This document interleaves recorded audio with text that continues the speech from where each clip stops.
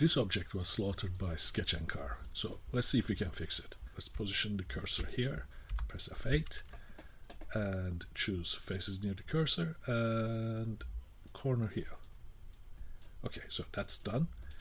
Uh, one problem we have here is I'd like to use the bridge, but the material is actually shared across in different parts, and I can only bridge two regions facing each other at once.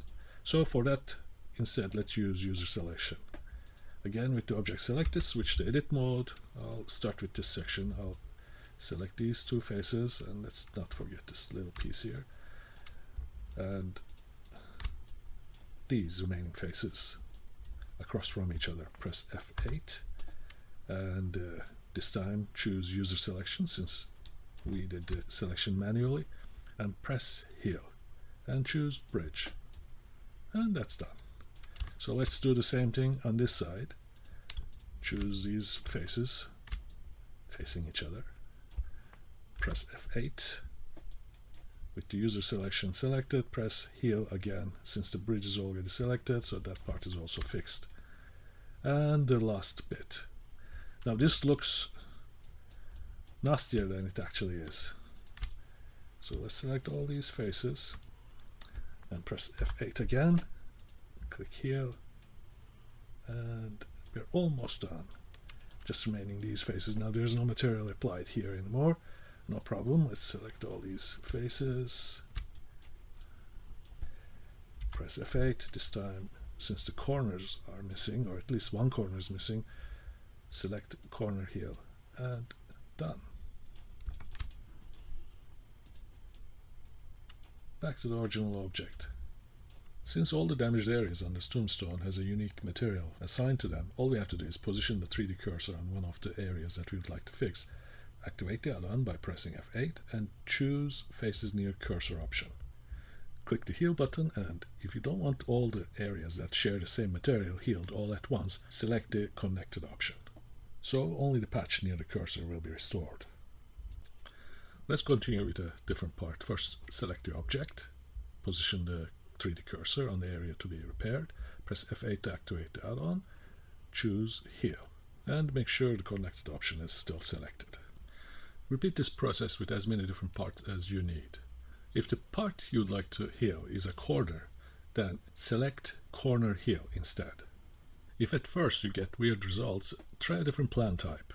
Material selection, of course, is just a convenience provided by SketchNCarve or similar programs that actually assign unique materials to worked areas. You can just as easily do the face selection manually yourself in the edit mode. The text on the gravestone is actually boolean and the modifiers are applied, but Mesh Heal can restore that section just the same. The connected button comes handy in cases like this where I can easily isolate one letter from the others, or one damaged patch from the rest. Here, for example, I'm erasing the damaged areas selectively. I'm placing the cursor where I'd like to erase, and using the connected button, I'm healing the damaged areas one at a time. Let's say with our well model, I'd like to remove some of the cracks on the tiles. Now, because the cracks are not defined with unique materials, and I'm too lazy to do the selection manually, I will use sharpness instead of material. In order to improve the automatic selection, click on the cavity edge button and place the cursor on the sharpest corner.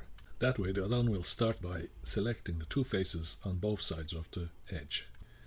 If need be, you can also improve the selection by adjusting the tolerance angle. If you're not sure which method to use, just try one, if it doesn't work, try the other. These little cracks, for example, are easily healed by using the heal method, whereas an area like this might require corner heal instead.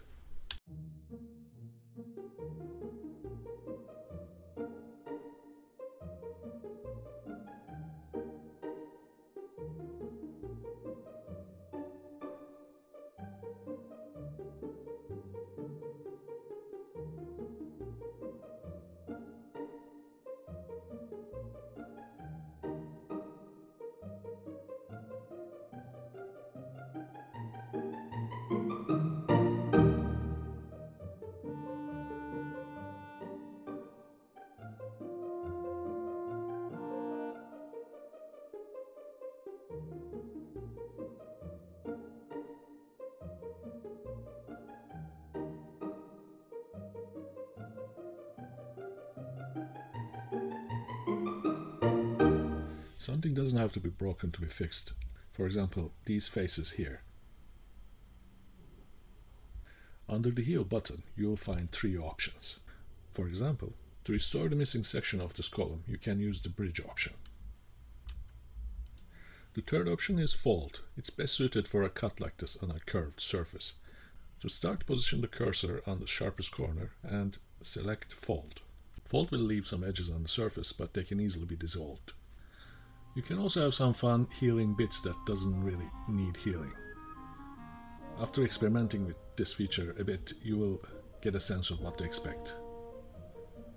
So, if it ain't broke, fix it anyway.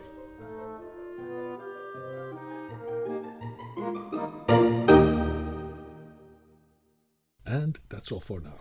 Enjoy! If you'd like to hear about the new versions of the add-on and find out about new free Blender tools in the future, make sure to subscribe. Download links are below at the description. Thank you for watching and see you next time.